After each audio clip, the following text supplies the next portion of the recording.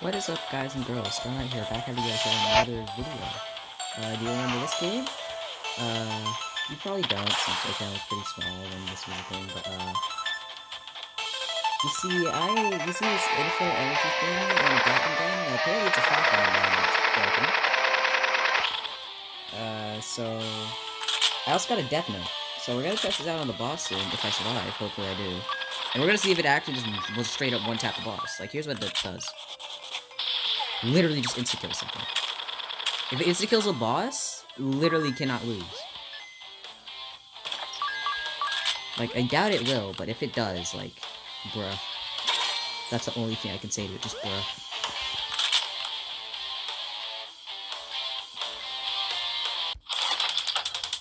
Please insta kill it. Please insta kill it. Doesn't matter what bosses. It doesn't come. This is useless. Frick, man. I thought it was all cool. Whatever.